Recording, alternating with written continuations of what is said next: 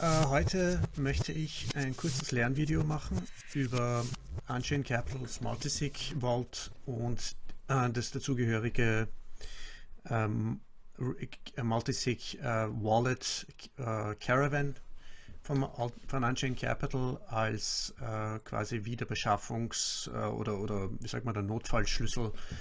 Ähm, ja, herzlich willkommen zu meiner Show, der Total Connector Show und Total Bitcoin Podcast Show. Und ich bin gleich zurück.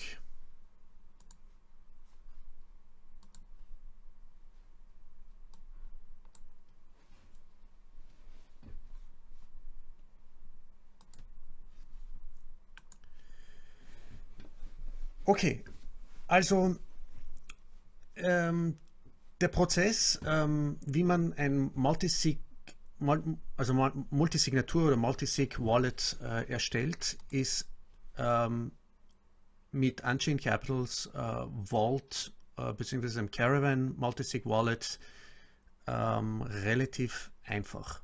Eigentlich sehr einfach. Dann wollen wir uns das mal anschauen. Ich kann jetzt aus ähm, Sicherheitsgründen natürlich jetzt nicht alles zeigen, aber die Instruktionen sind wirklich leicht zu replizieren und ähm, zu befolgen. Also gehen wir mal auf die Seite von unchained-capital.com-vaults und ähm, da habe ich schon ein quasi ein Konto oder ein Vault, ein, einen digitalen Tresor errichtet. So schaut das aus. In meinem Fall heißt es Total Bitcoin.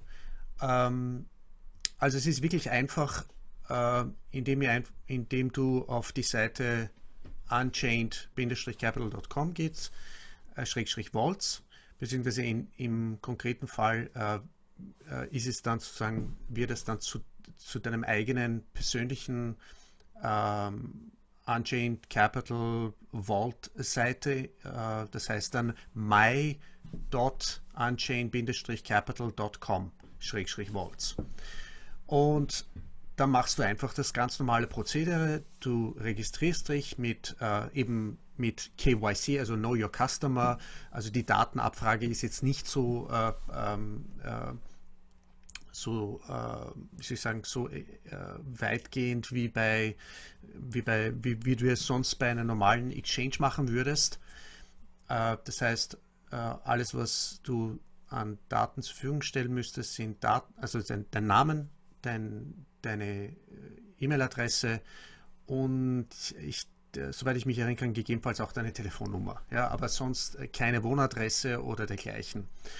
Ähm, und ja, und äh, du, äh, indem du einfach auf, also indem du dann auf Vaults gehst, auf ein, äh, in dem Fall könnte ich jetzt ein, ein neues erstellen, äh, wobei du auszuwählen hast zwischen Client-Controlled ja, und ähm, Multi-Institution. Multi-Institutionen kannst du als Individuum, als, als ähm, Person jetzt mal vergessen.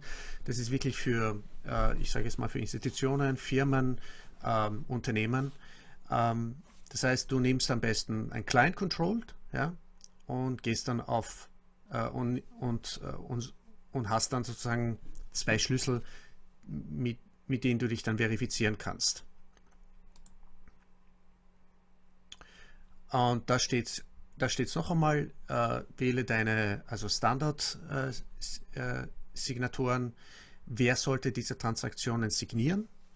Und du kannst es zu einem späteren Zeitpunkt natürlich ändern. Ähm, in dem Fall ähm, signierst du es quasi selber, ja, also zwei Schlüssel, also zwei Hardware-Wallets, ja, das können jetzt, äh, können wir noch darauf zu sprechen kommen, äh, aber im Moment sind jetzt, äh, sage ich mal, äh, äh, also Ledger und, und Trezor und ähm, ja, und noch einige andere Möglichkeiten. Aber, und dann hast du als Backup quasi äh, von Unchained Capital. Und da gibst du dann einfach deinen Namen, den Namen des, des, den, des Tresors. Du kannst es bezeichnen, wie du, wie du möchtest. Und äh, damit du eben zwischen den jeweiligen äh, digitalen Tresoren, die du erstellst, auch differenzieren kannst. Ja, also in dem Fall, ich lasse es jetzt mal, äh, da ich ja schon ein Vault habe, aber in dem Fall heißt es das Vault Nummer 2 oder was auch immer. Ähm, und da kannst du dann eben konsignieren, pick a key, ja, und da kannst du dann auf Key, also Schlüssel 1 und Schlüssel 2 gehen und äh, beziehungsweise einen neuen Schlüssel generieren. Und da kannst du auch den Namen des Schlüssels äh, ein, eintragen.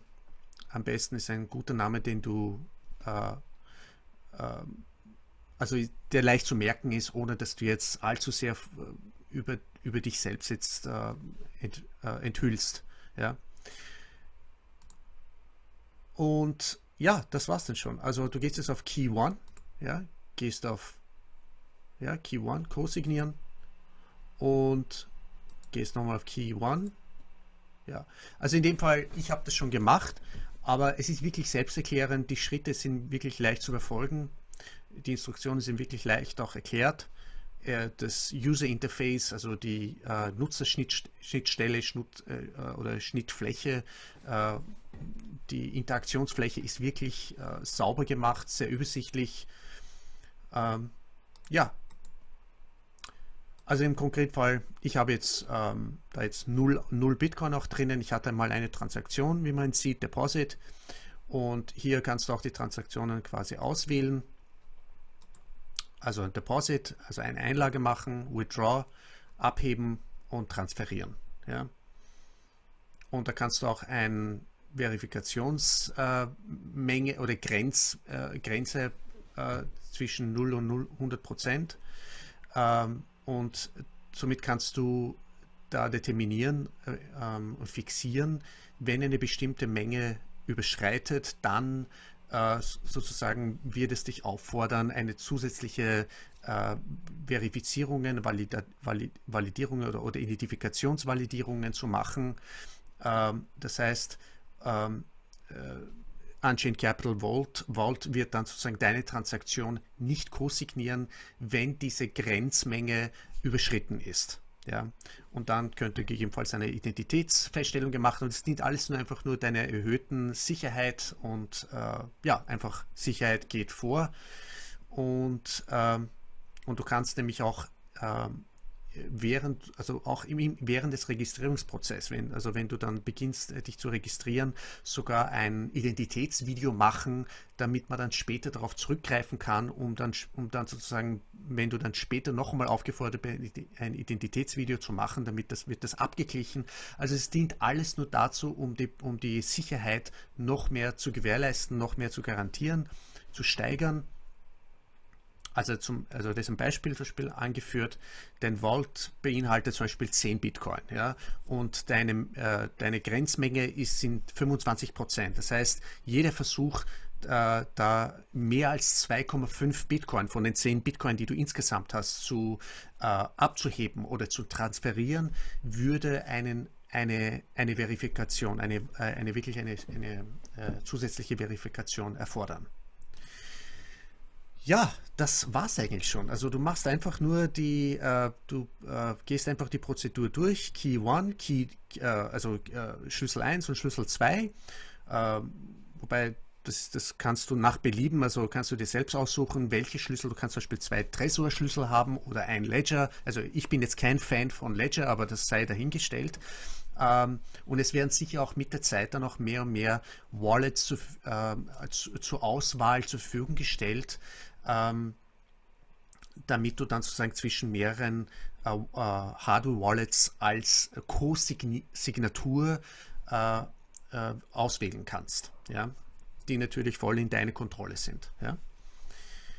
Gut, äh, also da geht man auf Home, das ist auch, da habe ich eben 0 da drauf, das ist deine Vaults, ja, also in dem Fall habe ich jetzt mal nur zu, zwecks Demonstration eine, ein Wallet gemacht. Total Bitcoin heißt es in meinem Fall. Und äh, hier sind die Keys noch einmal, ja, Schlüssel 1 und Schlüssel 2. Ähm, und du kannst eben den korrespondierenden privaten Schlüssel, der natürlich niemals mit Unchained Capital geteilt wird, ähm, dein, deine Bitcoin von diesen Adressen dann auch äh, äh, ausgeben und, und transferieren oder was auch immer. Ja? Ich kann jetzt, wie gesagt, aus operativen, sicherheitsoperativen Gründen da jetzt nicht weiter in Details eingehen, weil ich da jetzt, mich da jetzt exponieren würde. Ähm, aber da kannst du dann auf View gehen, ja, dann kannst du das genauer anschauen, ja, was äh, also die, die jeweiligen Datensätze oder äh, Schlüsselparameter und so weiter äh, bei Schlüssel 1 und Schlüssel 2. Ja. Gut, ähm, also ich gehe nochmal auf Vault, ja, gehe nochmal auf, auf die Bezeichnung meines Vaults und da siehst du nochmal die Gesamt, äh, Gesamtüberblick. So. Gut, das ist jetzt mal das Vault. So, und natürlich äh, in, dem Interview, das ich gemacht habe mit Phil Geiger von Engine Capital, der, Direct, der Direktor oder Director von Marketing ist und äh, ähm, Product Develop, also Product Marketing ist, da, da habe ich ihm auch die Frage gestellt, so was wäre sozusagen die ersten, die, die ersten Fragen, die natürlich ein Klient stellen würde oder ein Nutzer stellen würde, ist, naja, was ist, wenn diese Website, ja, diese, dieser Provider, diese Seite einfach dann nicht mehr geben würde. Ja. Also keine Panik, ja, absolut keine, keine Sorge. Deshalb äh, gibt es sowas ähm, wie ein Unchained capital.github.io caravan äh, Wallet, ja, ganz jetzt verkürzt jetzt mal gesagt. Und da kannst du eben deinen eigenen äh, äh, Wallet, das jetzt vielleicht nicht so sexy ausschaut wie bei Unchained Capital, ähm, dein eigenes Wallet erstellen. Da kannst du hierher gehen und sagen, okay, ich nehme zum Beispiel ähm, zum Beispiel zwei von drei äh, oder, oder eins von zwei Schlüssel zum Beispiel. Ja? Ähm, das heißt, es würde ein Schlüssel ähm, benötigt werden, um, um, de, um sozusagen dein Multisignatur-Wallet ähm, äh, äh, zu öffnen.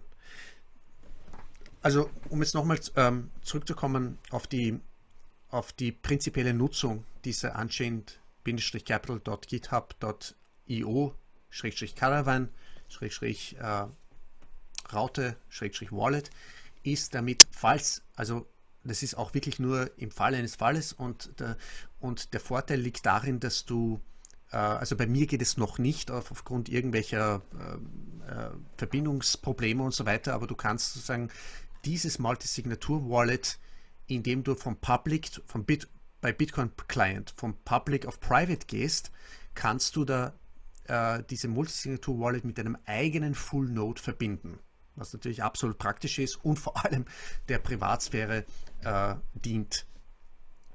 Die Instruktionen sind unterschiedlich.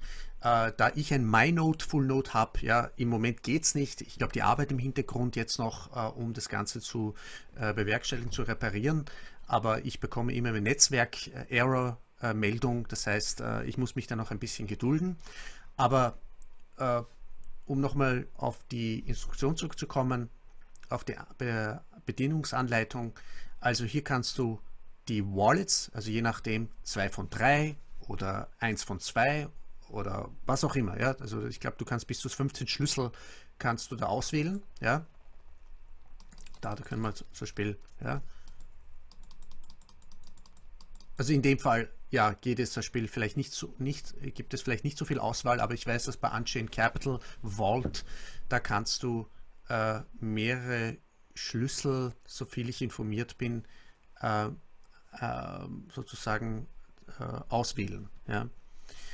So, das heißt, wir gehen jetzt wieder zurück von 2 auf 3 oder 1 von 2.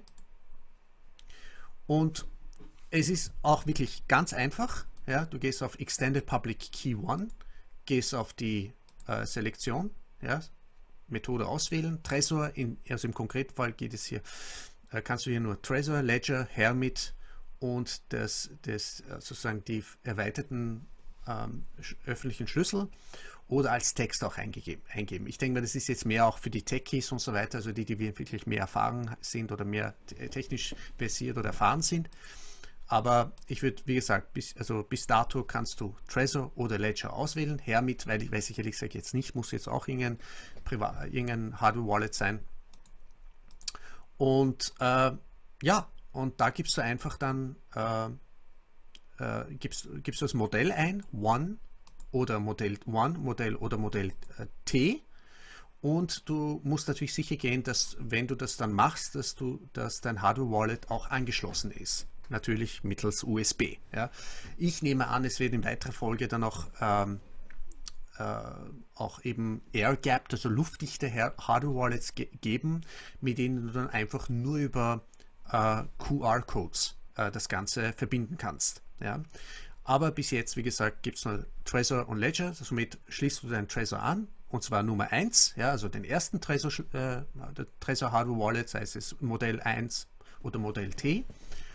Und ähm, ja, dann gibst du eben ganz normal, eben wie du es auch sonst tust, dein Passwort, dein, äh, dein, äh, dein, dein PIN-Code und so weiter, öffnest quasi dein äh, Tresor und dann wirst du eben auf eine auf die ähm, auf die Seite geführt, ja, weiter und du bestätigst einfach nur, ähm, ja, jeden, jeden Schritt äh, brauchst du einfach nur mehr ähm, bestätigen.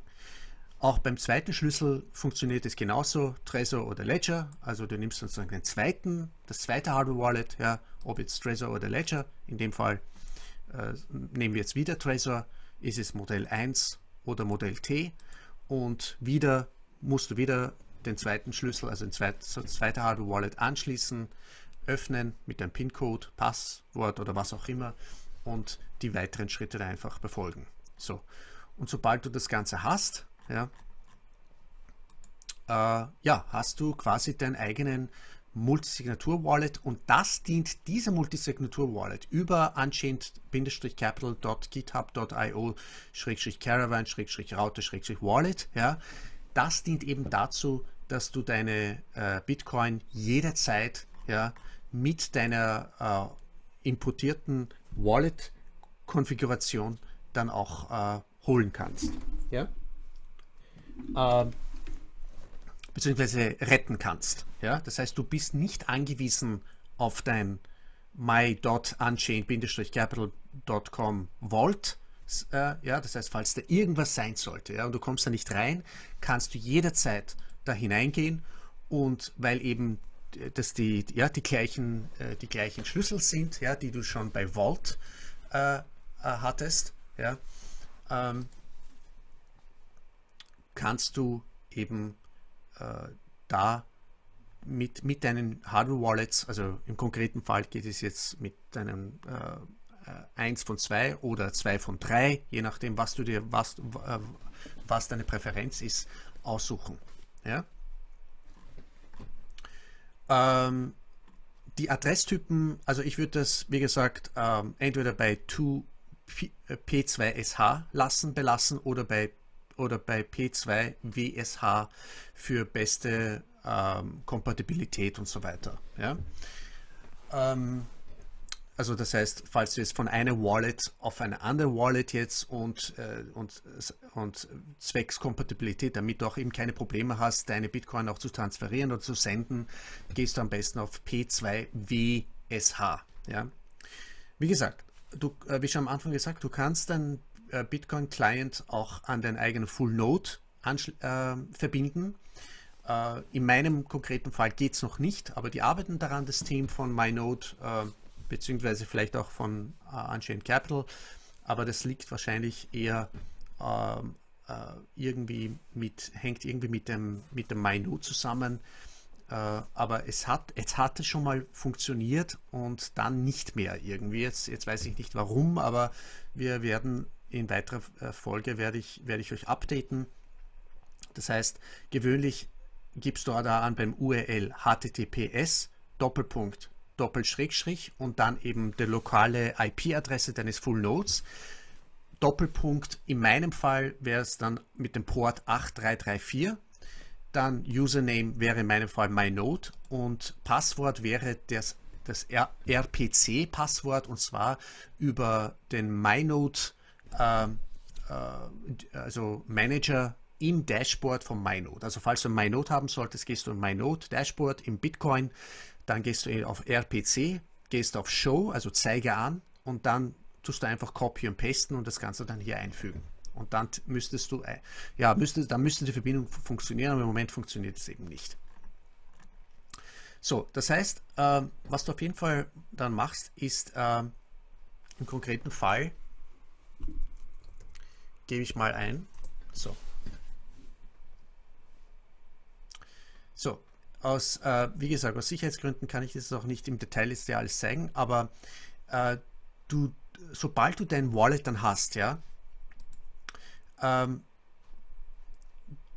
ähm, ist da irgendwo ein Button, wo da steht Download Wallet Configuration. Ja, also dein Wallet-Konfiguration downloaden. Das würde ich gleich am Anfang machen. Du kannst es jederzeit machen. Ja, also da ist nichts verloren.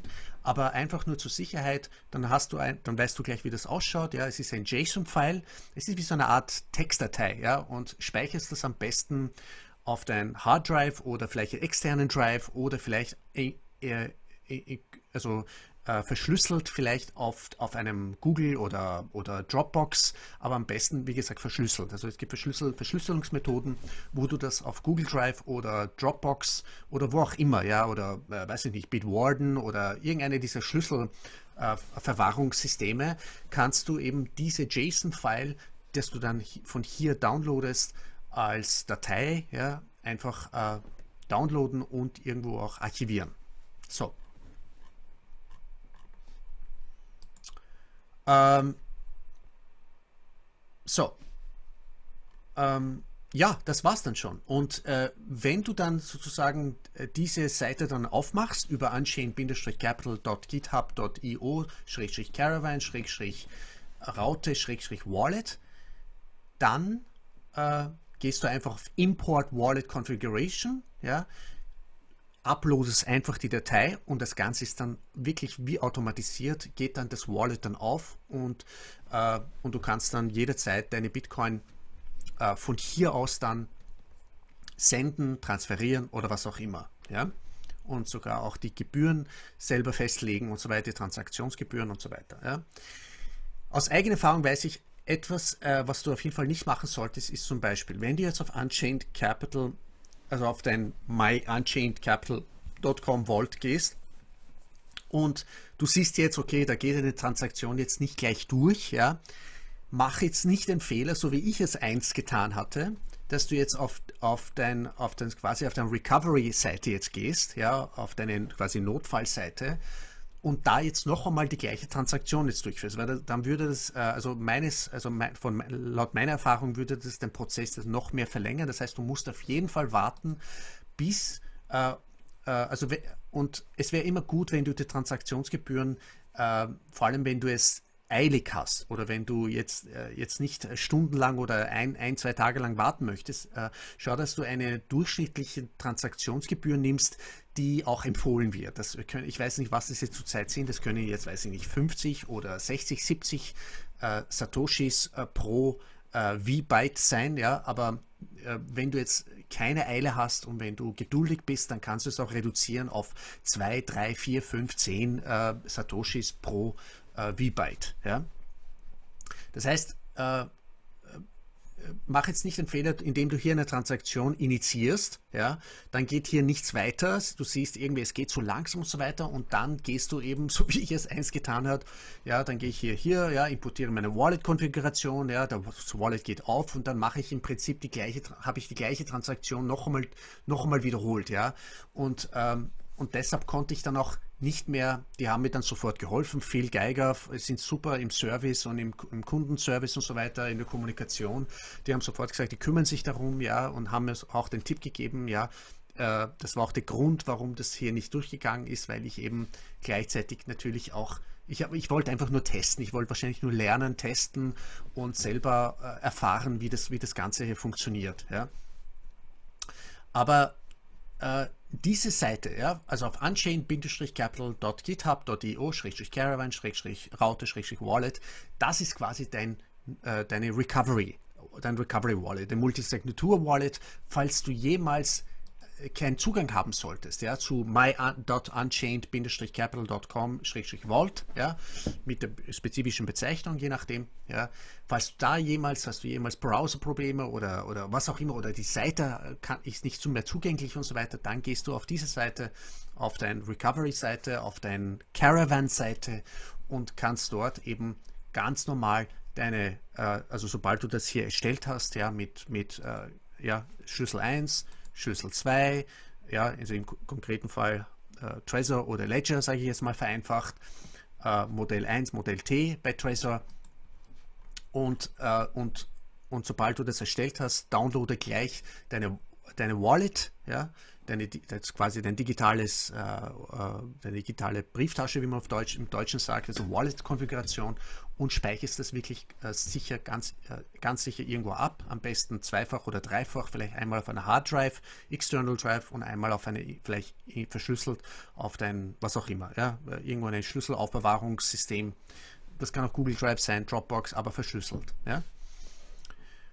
Und wie gesagt, und du kannst hier auch ähm, äh, mehrere Wallets, so wie auch bei Unchained Capital Vault oder bei Caravan, mehrere Wallets erstellen.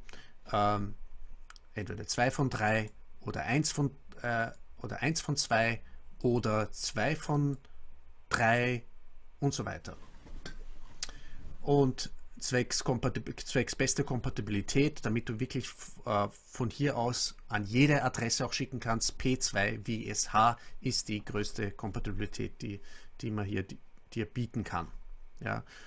Und natürlich nicht zu vergessen, äh, die Möglichkeit, äh, dein Bitcoin-Client, also dein Caravan Wallet, ähm, äh, direkt an dein Full Node anzuschließen oder zu verbinden. Ja?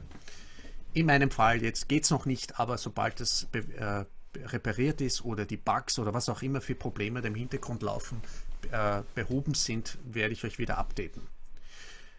Gut, das war's dann schon. Also Sicherheit, Privatsphäre geht wirklich vor. Ähm, die wirklich doppelte, dreifache Aufbewahrung. Äh, also schau wirklich, dass du deine Pins, deine Seed-Phrase, deine monomischen Phrasen, deine Passphrasen wirklich super tausendprozentig gut aufbewahrst. Aber da kann wirklich nichts schief gehen, denn du hast immer deine Schlüssel. Ja? Äh, also sagen wir mal, wenn du jetzt eins von zwei Schlüssel hättest, ja, ob das jetzt bei Unchained Capital Vault ist, ja, weil einen Schlüssel quasi, falls, quasi, falls du einen Schlüssel verlieren solltest, ja, dann äh, kannst du dich jederzeit an Unchained Capital wenden.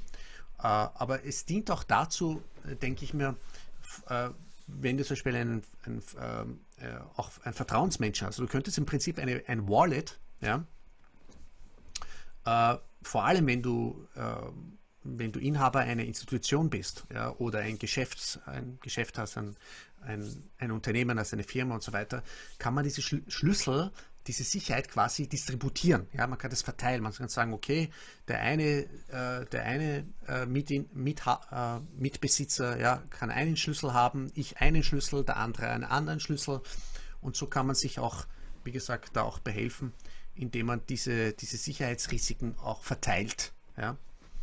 Und ähm, ja, und für, sage ich mal, für Erbschaften oder das Weitervermachen ja, von Bitcoin, falls die eh was zustoßen sollte, wäre nicht, das wäre auf jeden Fall sehr ratsam, da schon vorauszudenken, wie du und vorauszuplanen äh, strategisch, wie du, äh, ja, wie, wie, möchtest du quasi diese Schlüssel äh, aufbewahrt wissen, äh, aufbewahrt haben, was passiert, wenn dir, was soll geschehen, wenn dir etwas zustoßen sollte, wer soll, wer soll Zugang zu diesem Schlüssel haben, ähm, äh, mehr Familienmitglieder, ja, oder äh, es kann auch ein Schließfach zum Beispiel ein Schlüssel sein oder ein, eine, eine Person deines Vertrauens, es kann auch vielleicht, weiß nicht, der Notar sein, der Anwalt sein oder irgendeine andere Person des Vertrauens, kann einen Schlüssel haben und die anderen die restlichen Schlüssel.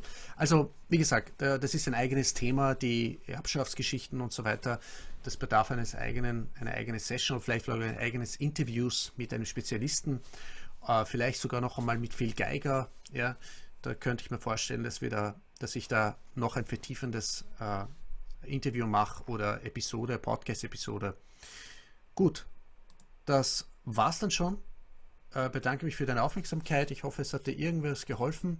Also äh, es ist auf jeden Fall eine wirklich eine sehr praktische Möglichkeit, eine sehr nutzerfreundliche Möglichkeit, ähm, mit Unchained Capital äh, äh, Vault bzw. dem äh, Recovery äh, äh, Wallet über Caravan deine Bitcoin sicher aufzubewahren und Transaktionen zu machen und die Schlüssel quasi zu verteilen, diese Sicherheit quasi zu distributieren. Ja indem du zum Beispiel ja, mit zwei Schlüssel arbeitest oder mit eins von zwei oder zwei von drei oder drei von fünf oder wie auch immer. Und wenn du eine Institution bist, natürlich, dann äh, haben die überhaupt ein eigenes Package, das die anbieten, äh, was auf jeden Fall, äh, ja, äh, do not trust verify, ja, not your keys, not your coins, sind nicht deine Schlüssel, sind nicht deine Bitcoin und vor allem äh, äh, vertraue nicht, sondern verifiziere, validiere. Und darum geht es. Das ist das Grundprinzip bei der ganzen Geschichte, äh, ist, dass du äh, niemanden, keine Drittpartei, keine Intermediären, keine Bank, keine Institution, irgendwem vertrauen musst, sondern der, die Kontrolle über deine Bitcoin hast du selbst. Ja? Du bist eine eigene Zentralbank, du bist eine eigene selbstsouveräne äh, Bitcoin-Hodler und äh, bist ein eigenes selbstsouveräner eigenverantwortlicher Bitcoin-Nutzer, Bitcoin-Hodler. So, Mach, äh, falls es dir das gefallen hat, bitte gib mir ein Like, ein Retweet, ein, ein Share, ein, äh, abonniere meinen Kanal auf YouTube, auf Podcasts, auf den diversen Podcast-Plattformen, auf anchor.fm, Kevanavani. Hinterlasse mir bitte eine positives, ein positives Feedback. Äh, gib mir auch meine E-Mail. Meine E-Mail-Adresse ist hello at thetotalconnector.com, falls du Fragen haben solltest oder Wünsche haben solltest für weitere Interviews, Episoden oder ein äh, Feedback. Und du kannst mich finden auf Telegram, Facebook, LinkedIn, äh, Twitter. Kevan Davani ist mein Twitter-Handle. Und ja, freue mich schon auf die nächste Episode und bis bald. Kevan Davani, der Total Connector, sagt Tschüss.